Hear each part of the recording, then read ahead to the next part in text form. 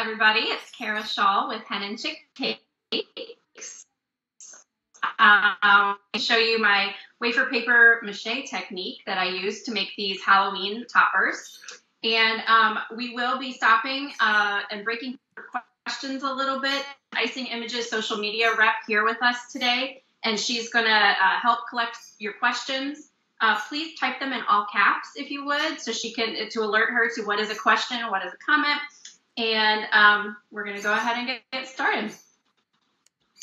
So uh, to make these, all I used really is wafer paper. It's Icing Images uh, flavored premium wafer paper. And um, you can get that at icingimages.com. I know that uh, they're going to put the website up above me, right?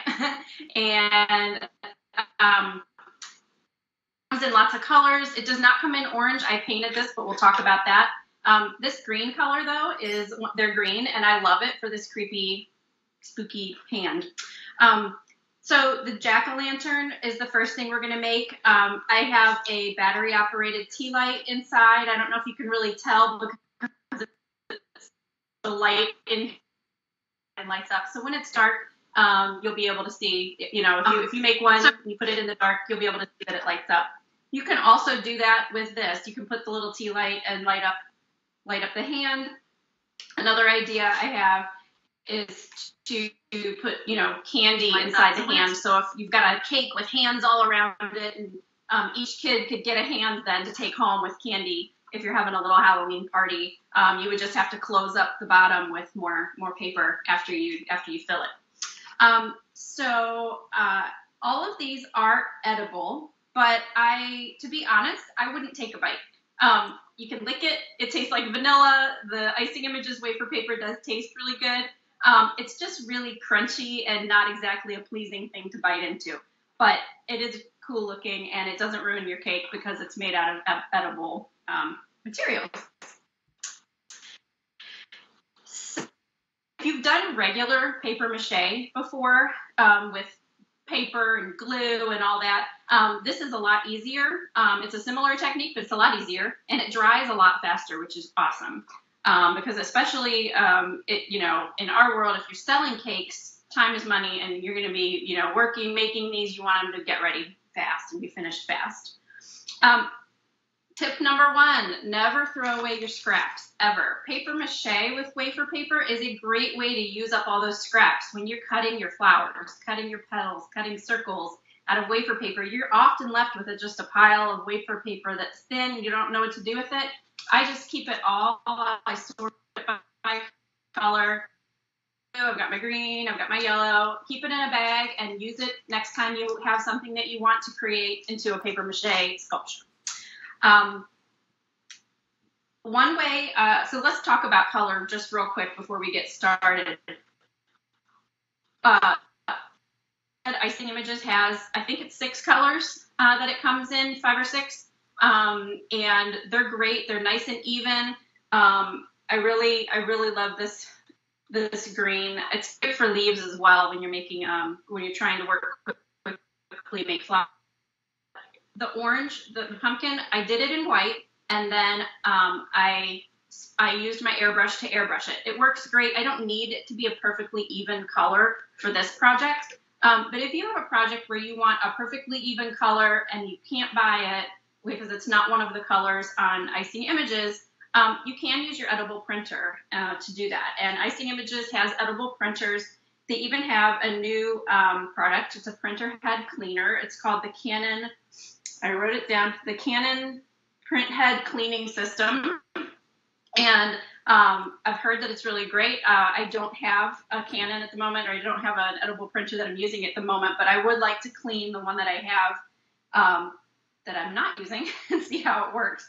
Um, Icing Images also has a contest going on uh, where if you order edible ink, uh, randomly there will be a golden ticket inside one of the packages, and it's worth uh, it's a $25 gift certificate for off of your next order. Um, so again, three ways to get color: print it, airbrush it, or just buy the colors that they have. Um, so let's get started with our jack-o'-lantern. if you've done any paper mache before, which I think probably most of us, at least in elementary art class, did a little bit of paper mache at some point.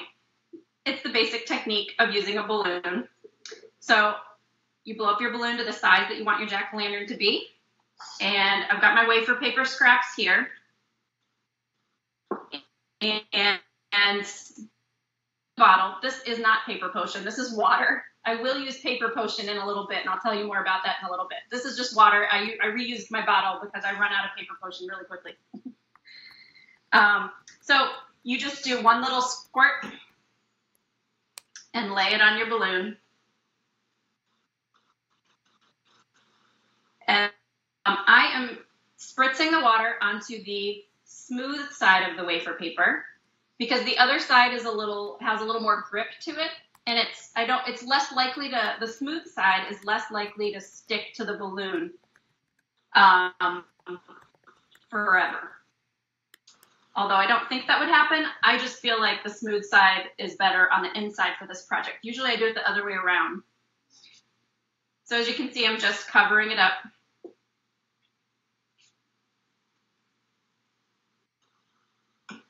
And I really, what I'm doing is I'm going to do one whole layer and then I'm going to go back later and I'm going to put another whole layer. I want it to dry a little bit in between, but I want to put two layers of paper on, on there. And an exact thing, some of these are going to have lots of different uh, layers. You know, some parts of it are just going to have lots of different layers. Um, but my goal is to get it so that I don't have anything that's just one piece of paper because that's a really thin spot and it might break more easily when you pop your balloon. So I'm not going to bore you by sitting here and just covering the whole balloon right now in front of you. Uh, I just kind of wanted you to get the idea. Uh, when I do finish this one, I'll be making it to here so that I can leave a hole right here and when it's dry, and this is the key, when it's fully dry, then I will pop my balloon very slowly and pull it out. And I do have one ready uh, like that to show you. I made this one a little bigger. This one has been drying um, two hours at least is what I would say. I did, uh, when I got excited when I thought of this technique and I would pop my balloon too early and then it would cave in on itself because I was just too excited to see how it was going to turn out. So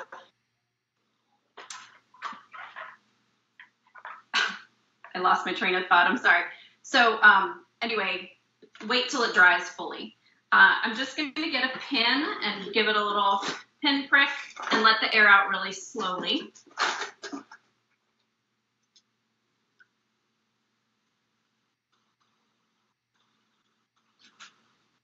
Hopefully slowly. Hopefully we won't have a big pop. Maybe we will. It'll be exciting. Okay. So I just have a little pin prick hole and it's sticking. You see how it's sticking at the top? Um, it's going to release. I just want to do it slowly so that it doesn't tear the whole thing. Just sort of get your finger under there and release it. You can push the balloon a little bit, get the air to come out, and there, it released. Now, I intentionally went a little bit farther than I want to so that I can trim the top when I'm all done. I made it a little bit higher up the balloon than I want it to end with. So I'm just gonna cut that part off. You can always add more later, but it's much easier to just take a little bit away. And you can see as the balloon is going out, it's sticking. You can kind of hear it.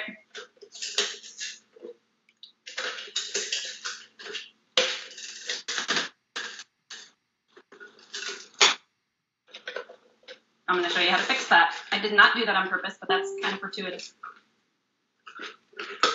All right. Get the balloon, and there you have it. So I do have this little crack. Now I would I want to trim this part anyway.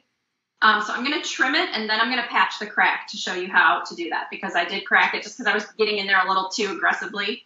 Um, it could have been it could have been better and just waited for it to uh, let out more slowly.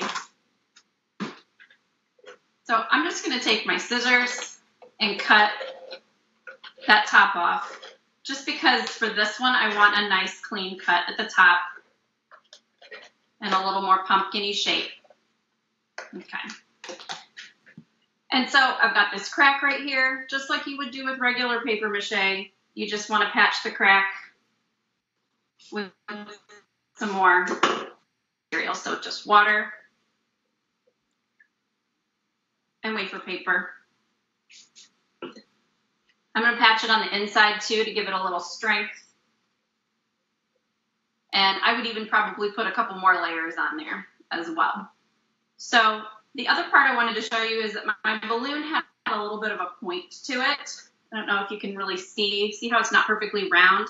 This is not going to stand up, but I want it to. I want it to stand up like this one does.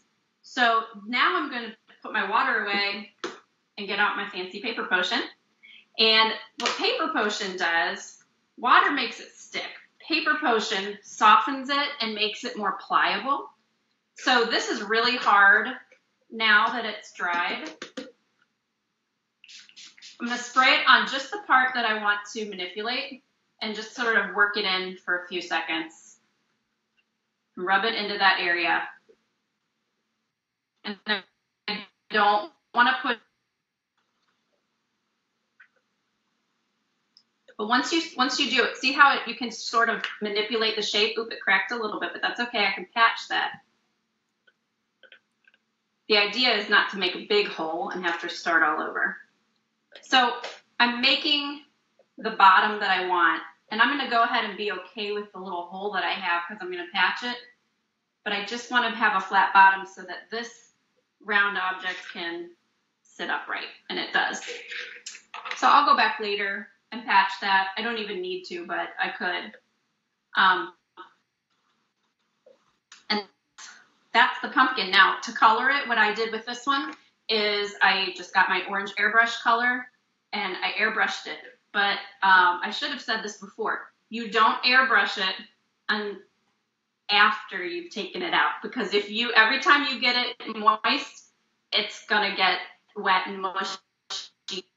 and Start color it, keep the balloon in, color it, let it dry again a second time, completely dry, and then take it out. So that's how I did this one. The balloon was still in there when I colored it. Um, I just didn't, we wouldn't have time to sit and wait for it to dry today for you. I do want to show you how easy this is to carve. Now I could go ahead and get my edible markers and draw a face like I did with this one, um, or I have this one little guy up here that I that I carved.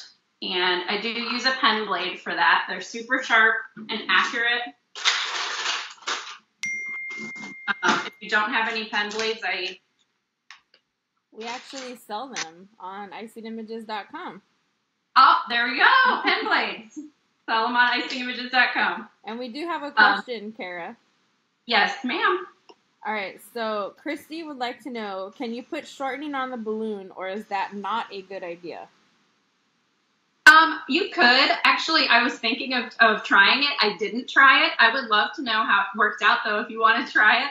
Um, I do think that because it doesn't, it, if you use the it's fully dry, it's really not going to stick forever. I don't think that shortening is necessary, but I think you probably could do it.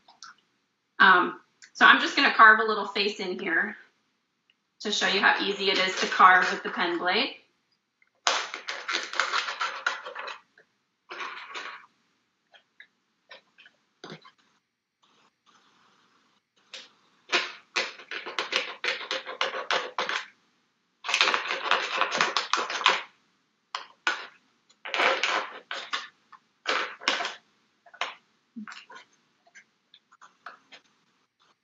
You can even trim it up a little bit. Honestly, you don't even have to put these on cakes. You can just make lanterns to put all around your kitchen for Halloween if you want.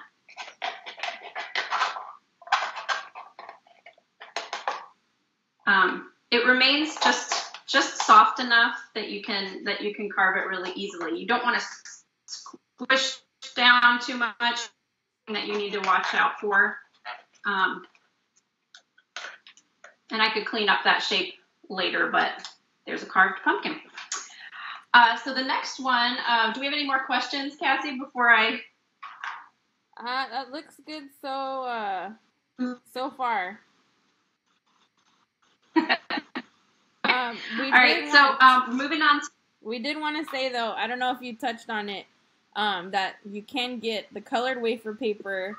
Um, you can start with the colored wafer paper, right? Oh, absolutely, absolutely. In fact, that's what I do um, with this one. I use the color wafer paper to start, and that and even if you print it beforehand, um, however you do it, you can um, you can do it. Now, I would say though that the water would probably get, turn it splotchy a little bit.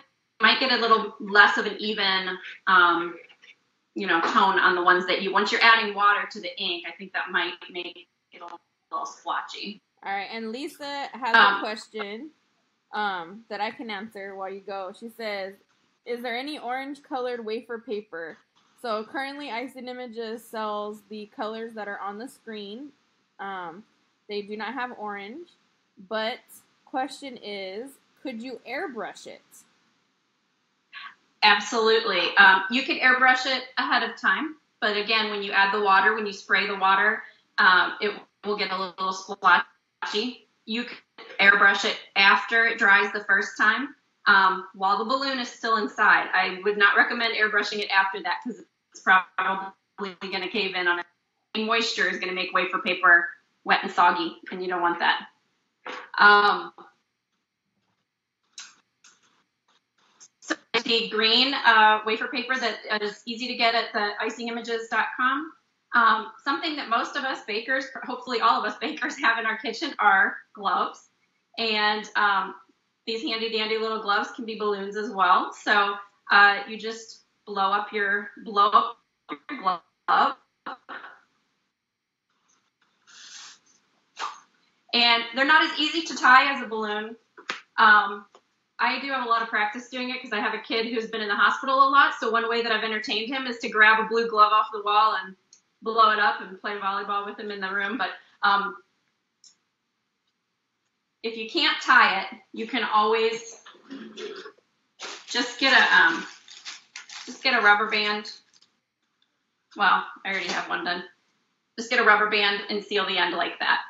Um, and you do it. It's the same technique as the other. It's just a little tricky because you have to get around the fingers. You want to make sure the fingers don't stick together.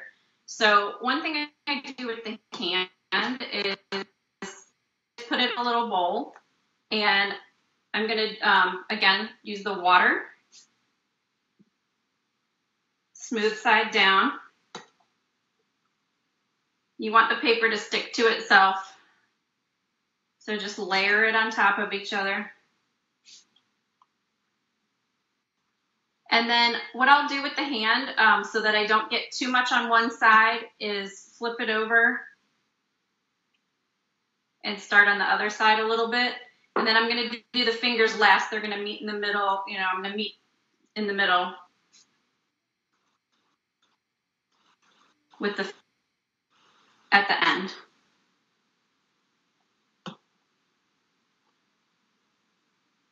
So just to show you. Just going to wrap it around the finger. And I'm going to wait before I do this finger because if this is wet and this is wet and they touch each other, they're going to stick together and it's going to be, you're going to kind of have to prime apart and start over. Um, but that's the general idea. And then at the end, you do the same thing. Pop the balloon really slowly and um, pull it out. Make sure that you have it all intact because you don't want any pieces of glove or balloon in your edible topper. That would be bad. You probably want to be aware of latex allergies as well. If you have, if you're using latex balloons, um, and they're for a kids party, you want to be aware of that. And we also just wanted to let you guys know that if you don't see a color here, you can always print the color orange because a lot of people are having questions about like you know other colors and stuff like that. so you can definitely print it. How, we have a question. Uh, how did you print? How did you get yours so orange? Um, this is two layers of airbrush color. The balloon was still in there. I did one thin layer of airbrush color, let it dry, did another one, let it dry, and then pop the balloon. Um, I can't say that enough. Definitely let it dry all the way, or you, are going to have it cave in. And I forgot to mention that I also put the um, handle. The handle is, of course, if you make uh, gum paste flowers or any, actually lots of wafer paper flowers, you probably have floral wire sitting around. So um, it's non-toxic. You just bend it, and it's really easy to poke through the sides of the wafer paper um, jack o' lantern. I'm just I poked a hole and I just bent it back up. And Kara, when you're airbrushing, I know a lot of people they kind of freak out because airbrush is usually water based. Um, yeah. Do you have any suggestions for coloring the wafer paper so that way you don't, you know, it doesn't. Uh, so people kind of aren't so scared about airbrushing wafer paper. Gotcha.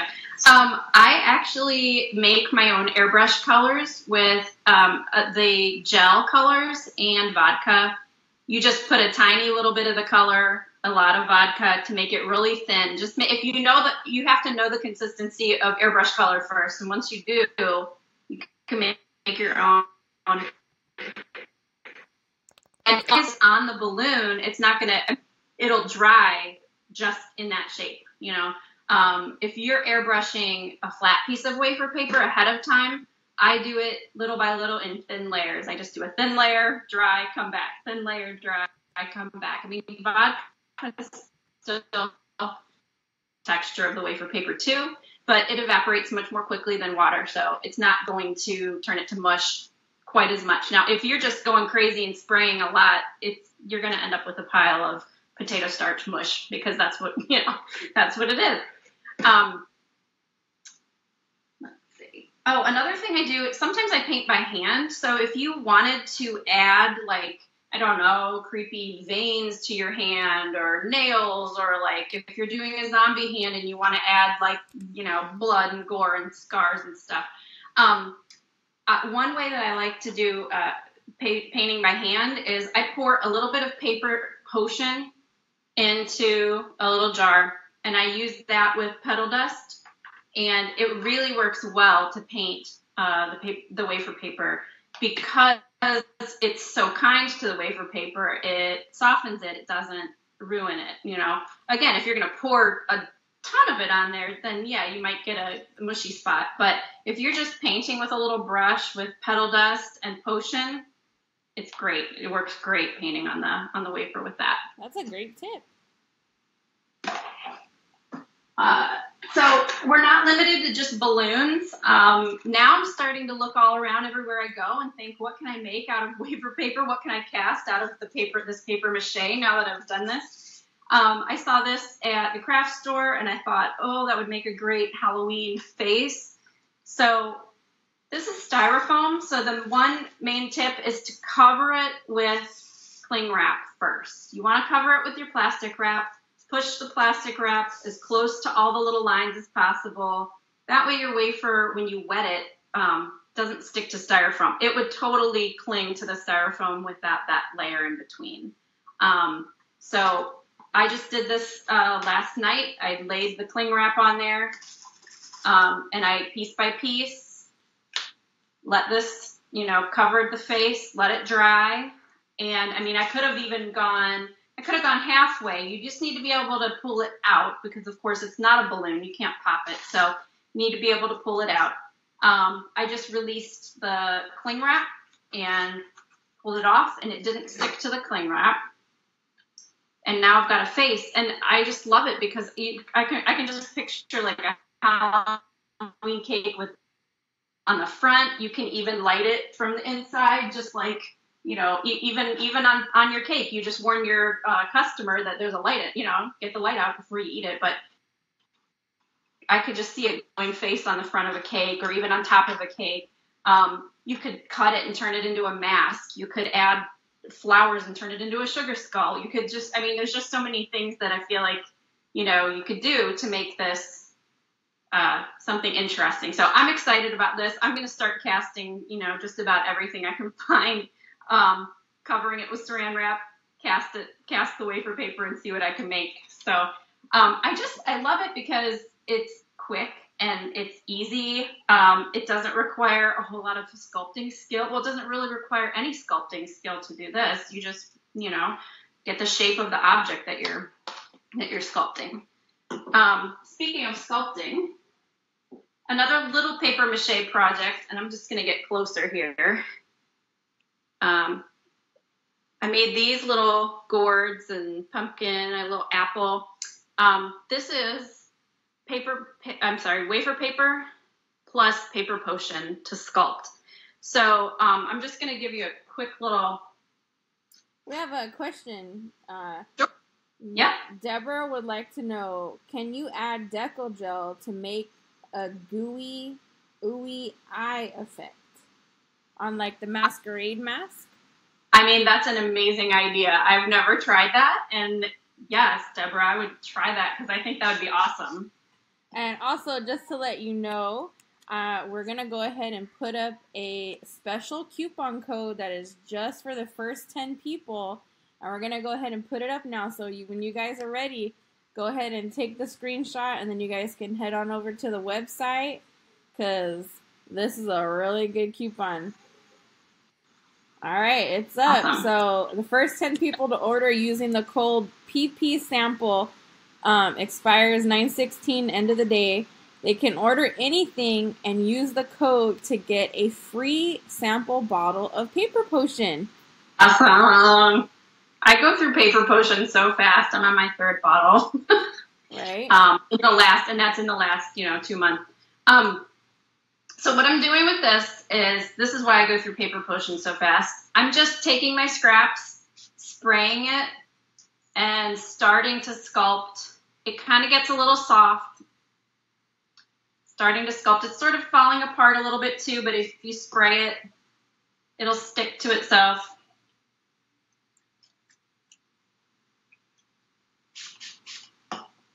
I wouldn't use water for this because water is going to make it dissolve really quickly. Paper potion gives you a little bit of time. Um, So as you can see, I'm starting to get a little shape of a pumpkin. You just keep going, you keep adding layers.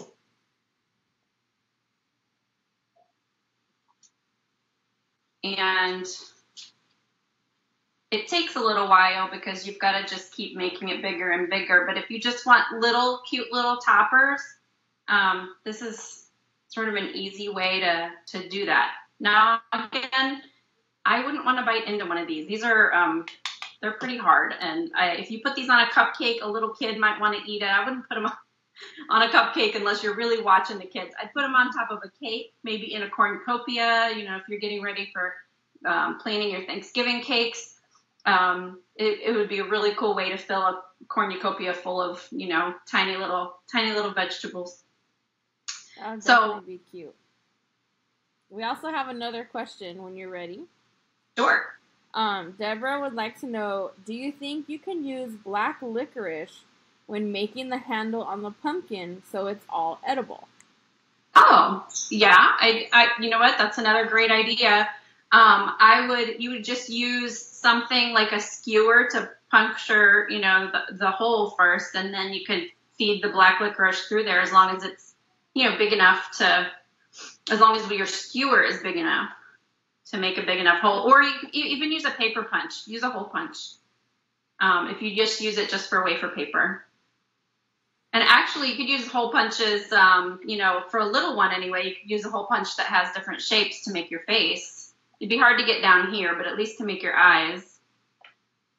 And we just wanted to say thank you. We've gotten some really good shares on this broadcast and also wanted to send a big thank you for Kara to take the time out of her day to show us this. It's a really cool technique, and when she brought it to Icing Images, we were super super stoked to see all the fun stuff that she's coming up with. So I'm really excited that she's agreed to do this live with us. Thank you. It's fun for me, and um, it just it just got me so excited about now. Like I said, now I'm seeing things everywhere. Actually, I, I have to show you my next project. I'm going to do this on my YouTube channel, but um, at uh, Joann's or Michael's or something. It's just a Halloween decoration. I got it for two dollars. Um, it's paper, so I'm going to have to cover it with plastic wrap so that the wafer doesn't stick, but I'm totally going to make a sugar skull. Um, same technique, cover it up, cut out, you know, whatever parts are, are left, and there it will be. I love that. That is super cool. And yeah. you guys uh, didn't notice, we have Kara's information to her YouTube and her Facebook. So if you guys can go show her some love and support for taking you know, the time out of her day to show us this stuff. We're really, really appreciative of it. So if you guys can show her that appreciation, we would greatly appreciate it.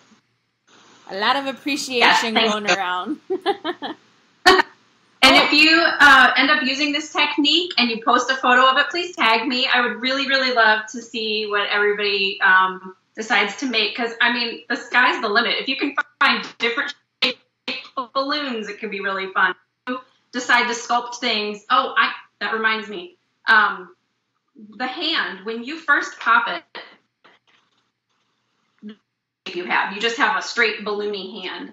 So I to do this, I used the paper potion like I did with the bottom of this when I put the paper potion on, rubbed it in to the bottom, sort of soften up the area you want to manipulate. And that's how I bent the thumb and bent the fingers different ways to sort of look more like a creepy hand than just a balloony hand. You know what I'd like to know? I would like to know what um, the people in the comments what what they're gonna do, like what they're gonna make with this technique. I'd like to hear their ideas. Me too. And uh, when you guys do share it, make sure you guys tag icing images because I know Kara will be sharing all the stuff that people are using with this technique, and we would love to share it as well. So make sure you guys use that hashtag. So we uh, one other one other thought that I had, um, I used um, I used strips of paper to do this instead of just um, scraps. And one easy way to get strips is to run it through your pasta machine and through the, you know, like the fettuccine maker and your pasta machine if you have one, and it'll cut your wafer paper into perfectly thin strips. You can make a great mummy face that if you wanted to just make this into a mummy and make it look like it was, you know, the paper wound around a mummy or the fabric, I mean. That'd be a good idea. And uh, Denise asked, which paper are you using? Uh, I'm using the premium flavored wafer paper from Icing Images. Uh, that's what I have, the white. And then I also um, did the green hand with their green. Um, it comes in red, blue, yellow. Uh, what else? Pink. Comes in pink. It's blue, red, green, pink, yellow, purple. It's actually on the screen right now. Perfect. Awesome. So those are, you know, that's that's what I used for this. And like I said, it does taste good if you lick it, vanilla, but um, I wouldn't chew on it. once you once you wet it and it hardens, like if wafer paper is easy to eat when it's just flat and new, but once you wet it and it hardens, it it changes the texture permanently. It makes it really, really hard. So it's just not not good to chew on, but but very cool looking. So that's it for that's it for my tutorial today. But um, thank you so much for joining us. I'm um, really excited to see what projects you make, uh, whether it's Halloween or anything else. Uh, another idea that I had the other day was to do like a little strawberry, um, kind of put candy inside and make you know make the top come off and that would be a cute on top of a cake. It doesn't have to be Halloween theme. It could be anything. Uh, but the balloon that I was working on was sort of strawberry shaped, so it gave me inspiration there. All right, well, we're going to go ahead and wrap it up. I'm just double checking to make sure we don't have any other questions. Vanessa did have a good suggestion for putting the licorice. She said maybe attach it with some chocolate. Oh, absolutely. Yeah. yeah. Yeah, melt a little chocolate and just dab it on the sides and then yeah. And if you make them small enough, these would be so cute on top of little clap cakes. Um, you know, if you make small little, if you find little balloons, make a little jack o' lantern for each kid. That would be super cute. So Christy said, "Have you tried to attach the dry piece to a cake yet?" Um, yes, actually. If you um, and now if I were to attach this to a cake, uh, I would want to leave a little so that I could fold it flat, um, have a little flat uh, edge. And if you have a fondant covered cake and you make this little bit wet with water around the edges, if you attach it, the wafer paper is going to stick to your fondant with just that little bit of water. All right. Well, I think that's all the questions. Yeah, and this is so light. Oh, I was just gonna say this is so lightweight that it's not gonna fall forward very easily. I mean, this is like it's paper, so it's not heavy. This is lightweight. It's not gonna cave in. You know, it's it's a lot um, lighter than putting a big. Well, and I think a lot of I think a lot of people too kind of get hesitant when they want to put something like that, like on a buttercream cake so I know for myself, I put wafer paper decorations on, you know, buttercream cakes. You just want to make sure that it's um, a crusted buttercream, so that way, um, you know, it, the oil's not leaking into the wafer paper. So I've done that where I've let a cake kind of crust over and have stand like I've stood up like characters next to the cake or leaning on the cake or what have you, and it mm-hmm. works just fine.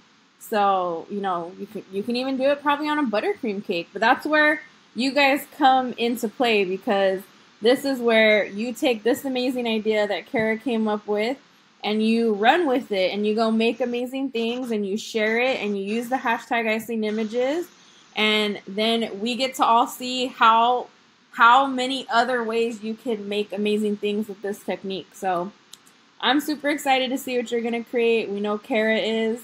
And we're to go ahead and wrap everything up. If you have anything to say, I think we're good. All right.